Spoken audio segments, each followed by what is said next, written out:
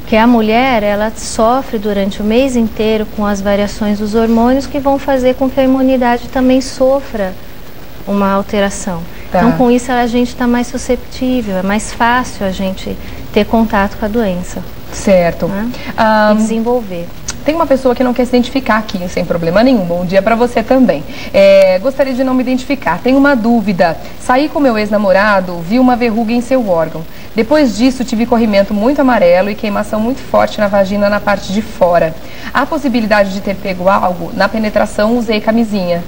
Mas não deve ter usado o tempo todo. É, né, nas, brin- tá na- nas brincadeirinhas a maioria acaba não usando. É uma coisa que a gente chama Muito atenção, comum, né? É muito comum. Uhum. É possível sim, é recomendado que ela faça uma boa avaliação, um exame clínico, já vai conseguir. Porque às vezes não é nem o HPV, né? Você sabe que está voltando um pouco as outras doenças, né? A sífilis, ela voltou a aparecer. Ah, é? voltou a Doenças que não aparecer. se tinha que notícia a gente um tinha um, um certo controle, né? Aham. Mas parece que elas estão aparecendo. Então é importante. O que está acontecendo? As pessoas estão abrindo a guarda um pouco, será? Não estão se cuidando É, tanto? na verdade, você sabe que o, índice, o maior índice de HIV hoje é na faixa etária dos 18 aos 25. Hum. Por quê? A meninada perdeu um pouco o medo e parece que usa menos preservativo. Então, essa seria uma explicação. Mas Uhum. a gente vê realmente que é isso que está acontecendo. E é muito importante entender, tem que usar preservativo. Tem que usar. Mesmo que a gente sabe que não está 100% seguro, tá? Porque existe também uma maneira de se- disseminar o vírus, mesmo usando o- a camisinha, mesmo usando preservativo. Uhum. Mas é a única arma que a gente tem, então não pode deixar de usar de jeito nenhum. Tá certo. Falando sobre é, o preservativo, sobre o uso ou não dele, né? As vaciladas que muitas pessoas costumam dar por aí. A gente já tá com ela na linha, diretora, com a Sheila? Vamos conversar com a Sheila, então. Ela tá- vai conversar com a gente pelo telefone. Ela acabou de passar por um tratamento. Tá curada, graças a Deus, mas a gente quer saber como é que foi esse tratamento, como é que ela reagiu e como é que foi o comportamento dela antes, né, de adquirir a doença, o que, que aconteceu. Bom dia, Sheila, tudo bem? Bom dia, Gisele, tudo bem? Muito bom falar com você, obrigada pela sua participação, viu? Eu que agradeço. A Sheila está com 35 anos, é solteira. Me conta como é que foi que você contraiu a doença. Então, é aquele negócio, né? As doutoras sempre falavam, usa camisinha, usa camisinha nas relações. E assim, é, sempre que eu tive relações, eu nunca usei camisinha. Começou com uma ardência, aí fui ao ginecologista e constou é, o vírus do, H, do HPV, né? Tá. Então você começou com qual sintoma? coceira, muita coceira, uma ardência, uma ardência muito forte. Ah, foi feito exames, né? Preventivo, aí deu o Certo. vírus. E qual foi o tipo de HPV que foi diagnosticado no seu caso? Foi um de alto risco. Ah, tá. O dos, Foi os, de alto risco. os que não são os bonzinhos, né? Como a gente já comentou. E como é que foi o Isso. tratamento? O que, que você fez? É, no começo eu tive tratamentos com aplicações né, de ácido, É, teve resultado, só que acabou voltando. Doutora, passei com a ginecologista, a doutora optou estar fazendo o laser.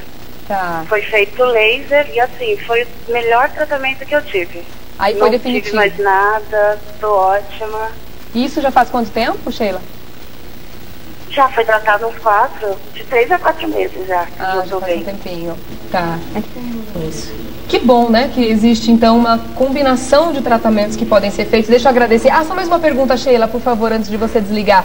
Você falou que acabou aí tendo alguns momentos de descuido de sexo sem camisinha. Isso foi com um parceiro exclusivo? Você tinha um parceiro fixo ou não?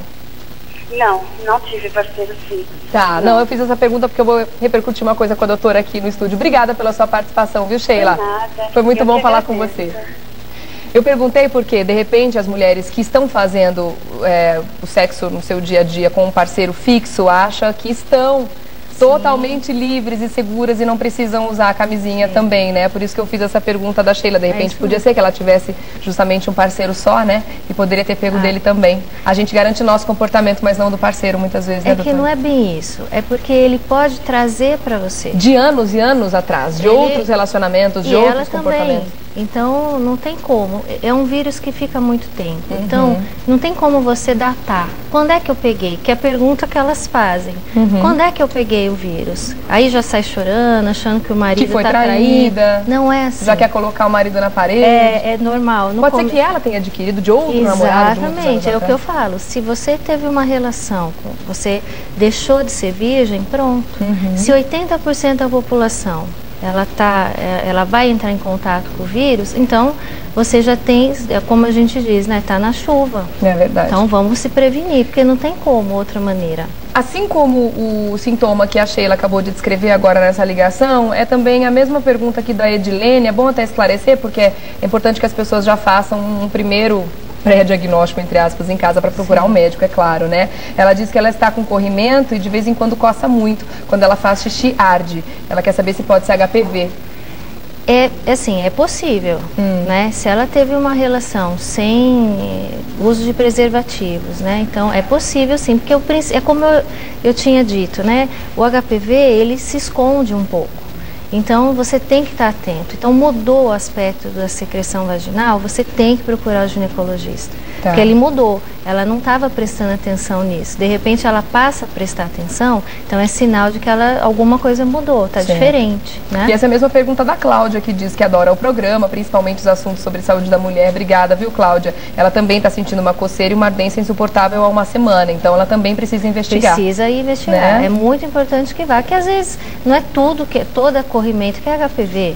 Tá. Né? Mas é importante que se você notou uma diferença e já está atrasado com os teus exames preventivos, então é importante que você procure o médico. Né? Certo. O Júlio César ele está perguntando se depois do tratamento com laser as verrugas podem voltar a aparecer. Alguns casos sim. Você, é, é, é, muito pouco a taxa de residência com o laser, uhum. mas existe. Se esse for um tratamento, porque o que acontece? Você trata, Regiane, e aí você vai fazer um acompanhamento. É importante que se é, frise isso, porque às vezes a paciente acha assim, não, eu tratei e pronto, eu estou bem, estou tratada. Não é assim. Se você teve um diagnóstico de HPV, fez o tratamento, você deve fazer um acompanhamento. E esse acompanhamento tem que ser rigoroso porque ele pode se apresentar novamente. Tá. Então tem que haver um acompanhamento. E, provavelmente no caso aí ele não fez o acompanhamento, né? Tá certo. Tem que encerrar mesmo, diretora? Que pena, tem tantas perguntas aqui.